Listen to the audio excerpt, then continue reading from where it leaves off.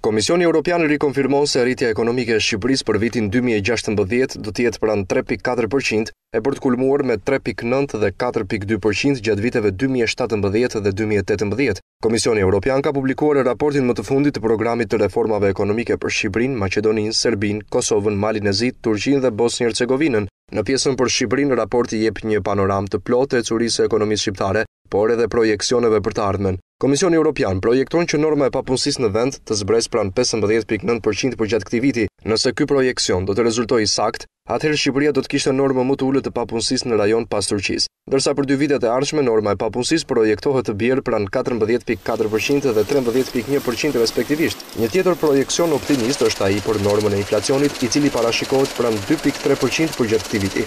Borxhi publik, nga ana tjetër, projektohet pranë shtatëdhjetë pikë gjashtë për qind, në raport me prodhimin e brendshëm bruto për të zbritur në gjashtëdhjetë e shtatë pikë shtatë për qind vitin e ardhshëm dhe gjashtëdhjetë e tre pikë gjashtë për qind në vitin dy mijë e tetëmbëdhjetë. Sipas projeksioneve të Komisionit Europian, vetëm Serbia dhe Mali i Zi me zero pikë një pikë përqindje pritet të kenë një normë borxhi më të lartë se Shqipëria. Komisioni Europian vlerëson gjithashtu se shpenzimet gjatë këtij viti do të bien pranë njëzet e nëntë pikë gjashtë për qind të GDP-së nga tridhjetë pikë dy që ishin një vit më parë. Të ardhurat nga ana tjetër projektohen në rritje, pranë njëzet e shtatë pikë katër për qind të prodhimit të brendshëm bruto. Nëse të gjitha projeksionet e Komisionit Europian rezultojnë të sakta, atëherë kjo do të bënte që deficiti buxhetor gjatë këtij viti të fiksohet pranë dy pikë dy për qind. Bazuar në marrëveshjen e vitit dy mijë e pesëmbëdhjetë, Komisioni Europian angazhohet të publikojë vlerësimet për ekonominë e këtyre vendeve në një raport të përbashkët.